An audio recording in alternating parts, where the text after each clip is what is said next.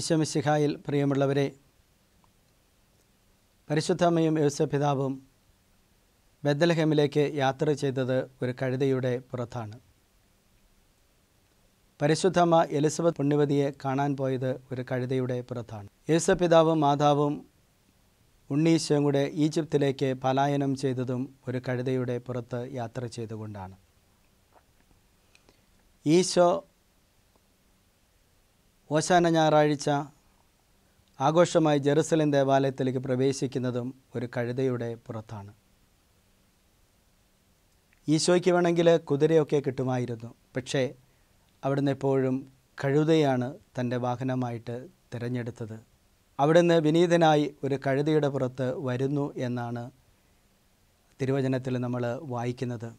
ഓശാന ഞായറാഴ്ച ഈശോ കയറിയ ആ കഴുതയെക്കുറിച്ച് ബൈബിളിൽ ചില പരാമർശങ്ങൾ നമുക്ക് കാണുവാൻ സാധിക്കും. ഒന്നാമതായിട്ട് ആ കഴുത ഒരു ഗ്രാമത്തിൽ നിന്നുള്ള കഴുതയായിരുന്നു. രണ്ടാമത് ആ കഴുത ആരും ഒരിക്കലും കയറിയിട്ടില്ലാത്ത ഒരു കഴുതയായിരുന്നു.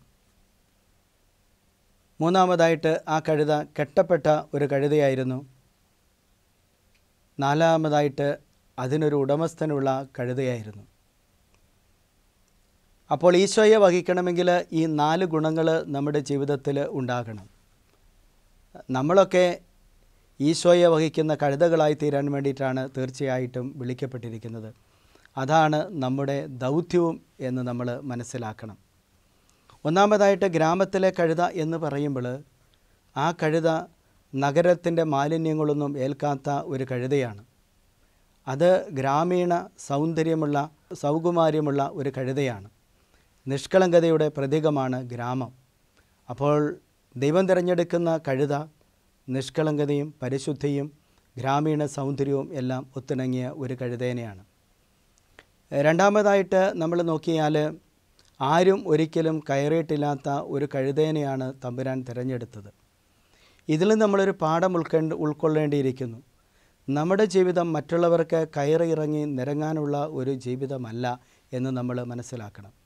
നമ്മുടെ ജീവിതത്തിൽ ആരെല്ലാം കയറണം ആരെല്ലാം ഇറങ്ങണം ആരെല്ലാം പോകണമെന്ന് തീരുമാനിക്കാൻ നമുക്ക് കഴിവുണ്ടാകണം. അപ്പോഴാണ് ദൈവം നമ്മളെ തന്നെ വഹിക്കുവാനായിട്ട് തിരഞ്ഞെടുക്കുക. മൂന്നാമതായിട്ട് നമ്മൾ കാണുന്ന ഒരു കഴുതയുടെ ലക്ഷണം അത് കെട്ടപ്പെട്ട കഴുതയാണ്. നമ്മളൊക്കെ ജീവിതത്തിൽ ആരോടെങ്കിലുമൊക്കെ കെട്ടപ്പെട്ടവരാണ്. ഞാനൊരു വൈദികൻ എന്ന നിലയിൽ ഞാൻ മെത്രാനോട് കെട്ടപ്പെട്ടവനാണ്. അങ്ങനെ ഏത് തര ഏത് ജീവിതം എടുത്തു നോക്കിയാലും നമ്മൾ ആരോടെങ്കിലുമൊക്കെ കെട്ടപ്പെട്ടവരാണ്. അങ്ങനെ കെട്ടപ്പെട്ട് ജീവിക്കുമ്പോഴാണ് നമ്മുടെ ജീവിതം അനുഗ്രഹപ്രദമായി തീരുന്നത്. അല്ലാതെ അഴിഞ്ഞാടി നടക്കുന്ന ഒരു കഴുതേനെ തമ്പുരാന് ആവശ്യമില്ല. അഴിഞ്ഞാടി നടക്കുന്ന വ്യക്തികളെ തമ്പുരാന് ആവശ്യമില്ല. എപ്പോഴും കെട്ടപ്പെട്ട ഒരു കഴുതേനെയാണ് തമ്പുരാന് ആവശ്യം. അതായത് നമ്മുടെ ആധ്യാത്മിക ജീവിതമായിട്ട് പറഞ്ഞാൽ നമ്മൾ സക്രാരിയുമായിട്ട് കെട്ടപ്പെട്ട ഒരു ജീവിതമാണ് ദൈവം നമ്മളിൽ നിന്ന് പ്രതീക്ഷിക്കുന്നത്. നാലാമതായിട്ട് നമ്മൾ കാണുക ആ കഴുതയ്ക്കൊരു ഉടമസ്ഥനുണ്ട്. ആ കഴുതനെ അഴിക്കുന്ന അവസരത്തിൽ ഉടമസ്ഥൻ വന്ന് ചോദിക്കുന്നുണ്ട് എന്തിനാണ് ഇതിനെ അഴിക്കുന്നതെന്ന്? അപ്പോൾ നമ്മളൊരു കാര്യം മനസ്സിലാക്കണം എന്നെക്കുറിച്ച് ചോദിക്കാനും പറയുവാനുമൊക്കെ എനിക്ക് വേണ്ടപ്പെട്ടവർ ഈ ലോകത്തിൽ ഉണ്ട് എന്ന് ഞാൻ മനസ്സിലാക്കണം. അങ്ങനെ മനസ്സിലാക്കി കഴിയുമ്പോഴാണ് ഞാൻ ഉടമസ്ഥനുള്ള ഒരു വ്യക്തിയായിട്ട് മാറുന്നത്.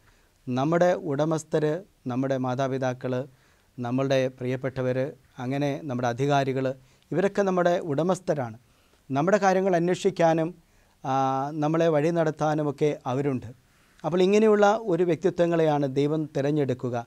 അതുകൊണ്ട് പ്രിയമുള്ള സഹോദരങ്ങളെ നമുക്ക് പരിശുദ്ധി ഉണ്ടാകണം. നമ്മുടെ ജീവിതത്തിൽ അനാവശ്യമായിട്ട് ആരെയും കയറിയിറങ്ങി നിരങ്ങാൻ നമ്മൾ അനുവദിക്കരുത്. നമ്മൾ കെട്ടപ്പെട്ട വ്യക്തികളായിരിക്കണം. അതുപോലെ തന്നെ നമുക്ക് ഉടമസ്ഥനുണ്ട്. ദൈവം നമ്മുടെ ഉടമസ്ഥനായിട്ടുണ്ട്. അതുപോലെ മനുഷ്യർ നമ്മുടെ ഉടമസ്ഥനായിട്ടുള്ള ബോധ്യം നമുക്കുണ്ടാകണം. ഇങ്ങനെയുള്ള ഒരു ലക്ഷണമുള്ള ഒരു വ്യക്തിത്വത്തെയാണ് തമ്പുരാനെ വഹിക്കാൻ തിരഞ്ഞെടുക്കുക. അതുകൊണ്ട് ഈ കഴുതയുടെ ലക്ഷണങ്ങളൊക്കെ നമ്മുടെ ജീവിതത്തിൽ സംശീകരിച്ചുകൊണ്ട് നമുക്കും തമ്പുരാനെ വഹിക്കുന്നവരാകാം.